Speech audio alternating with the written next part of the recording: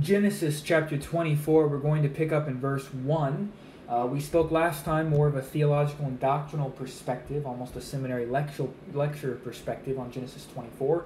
Today we are going to dive in verse by verse using our SOAP method. Starting in verse 1 of Genesis 24, the Word of God says, Now Abraham was old, well advanced in years. Wow, how many times have we heard this statement about this man? God mightily used him during old age.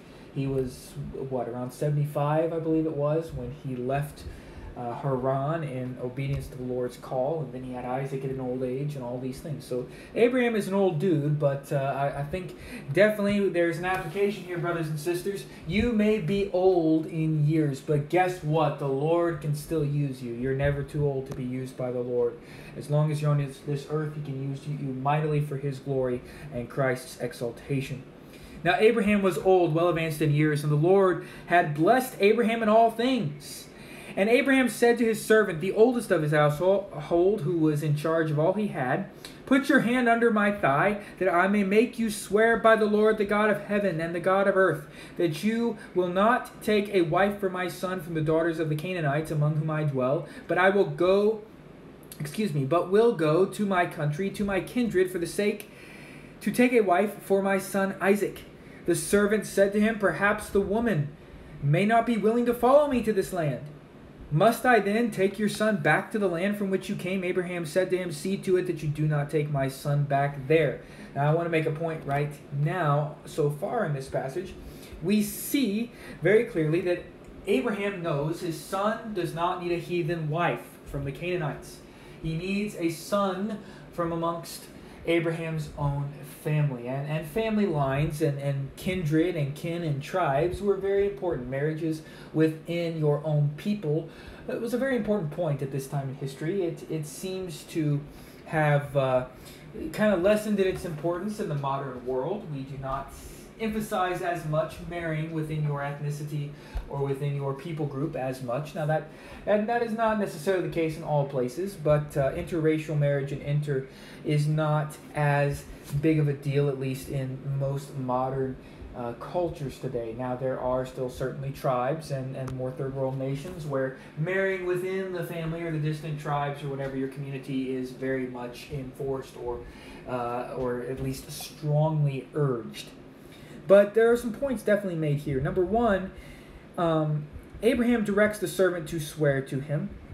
This is his oldest servant, and this servant was in charge of all that he had, a very chief and wise and respected servant. He, he is to swear, he is to promise by God's name that uh, he will seek out a wife for Isaac but to go back to Abraham's own clan, his family, to seek one. And and the servant makes the statement in verse 5 What if the woman is not willing to come with me? I mean, an honest and legitimate question. I'm going to go seek out a wife. What if she won't come back to me? And Abraham is going to respond to that. You know, and he, he says in verse 6, Abraham does, well, basically, if, if, if she does not come back, do not take my son back there. You know, because the servant's like, well, should I take your son if the lady won't come? No, do not take my son back there. And Abraham's going to say more about that in verse 7 when we pick back up. But I also want to make the point that the woman had free choice here. Marriages, while they this would be an arranged marriage, somebody else was seeking out as a uh, emissary, a, a middle party, a third party to seek out a wife for another. This is, in a sense, an arranged marriage, and yet at the same time, the woman has the choice. And I think that's an important point. And in Jewish society, there was betrothal, there was arrangement of many marriages, but at the same time, the woman had the choice, and the man, whether or not they would uh, say the wedding vows. Now, wedding vows are not specifically mentioned in Scripture, but nonetheless, there is a ceremony that takes place, and the both parties have a choice whether or not to willingly enter into that marriage. So while there may have been societal pressures, that certainly could be, and familial pressures, uh, there was still individual choice here. Verse 7 The Lord God of heaven, who took me from my father's house and from the land of my kindred, who spoke to me and swore to me, Your offspring I will give this land. He will send his angel before you, and you shall take a wife of my son from there. But if the woman is not willing to follow you, then you will be free from this oath of mine. Only you must not take my son back there. So the servant put his hand under the thigh of Abraham his master and swore to him concerning this matter. So we see very clearly Abraham make an explanation. God will send his angel. Abraham certainly is placing his trust in the Lord for the marriage of his son, which is also a very powerful lesson, especially for those who may be unmarried who are reading this passage. Uh, for those who are already married, they will certainly, I believe, see the truth in this, and I'll make comments about that in a moment. But the Lord is the one who goes before us in marriage. If it is the Lord's will for us to marry, and certainly seeking of the Lord's will should be done in marriage. And Paul talks about that a lot over in 1 Corinthians chapter 7. He says, If you want to marry and you do marry, you have not sinned. It's not wrong to marry, but you must marry in the Lord. You must marry a believer if you are a believer. If you are an unbeliever, you need to marry an unbeliever. That is the only real restriction uh, that the scripture gives. You must marry in the Lord, marrying another believer.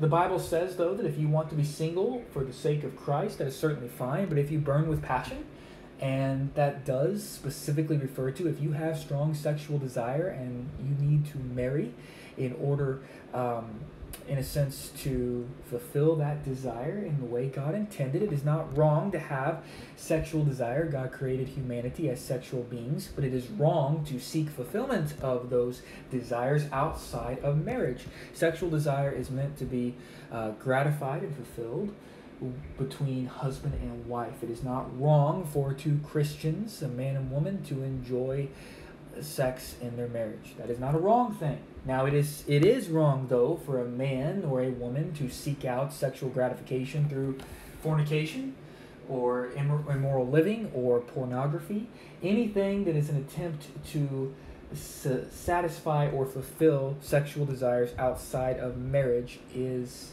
not mandated or and not condoned biblically. We certainly see that nonetheless, God works really divinely in our marriages, and we even could go so far, I believe, as to say God does arrange our marriages.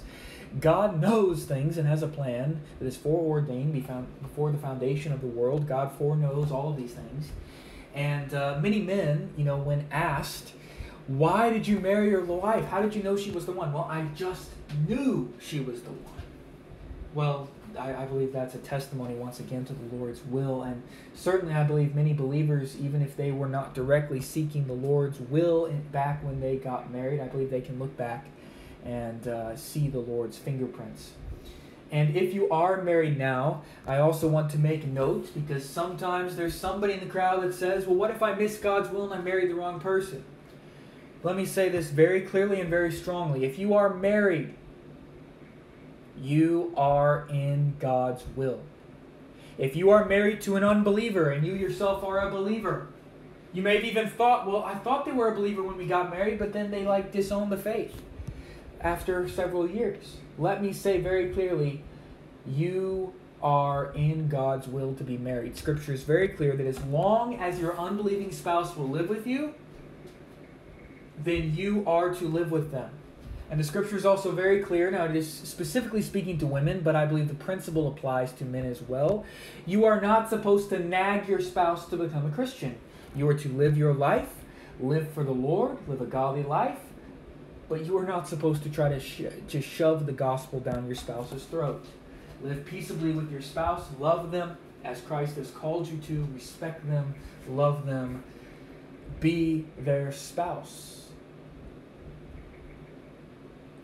And as long as you do that and they are willing to live with you, remain married. There is nothing unbiblical.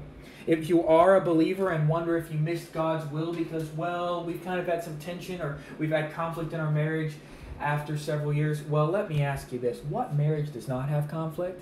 Because let's just be honest. You take two sinners, they make a covenant between each other before God to marry each other to become one the rest of their lives, two becoming one is not exactly easy, and two fleshly, sinful human beings whose sin gets on each other's nerves is certainly going to cause conflict from time to time. Even two believers are not perfect because the flesh wars against the spirit. Now, I am not talking about abuse, and I am not talking about there being biblical grounds for separation within marriage. Certainly, if there is abuse going on or very deep seated issues and conflicts, separation is not an unbiblical response. But divorce should not be the solution for anything outside of adultery. And even in the case of adultery, there can be the healing, the miraculous and wonderful healing of God if both parties commit to repentance and working through restoration. I do not believe even if adultery has occurred in your marriage, I do not believe that that divorce should be the immediate response. Certainly counseling, certainly seeking the Lord and seeking forgiveness and restoration should be our first move as believers, not our last resort option, or not just if it looks like that is an option. No sin is too great for God to heal. Certainly, there are those who will sin and then not repent, and well, divorce may be an option in that case. It, uh, well, I don't want to use the term option. It may be the result if there is an unrepentant believer in the case of adultery. But certainly the marriage can also be restored by the grace of the Lord Jesus Christ and healed. So we see those lessons today and those applications I, I wanted to bring out. Now we're going to close here, and next time we will pick back up and uh, we will see Abraham's servant begin to set out.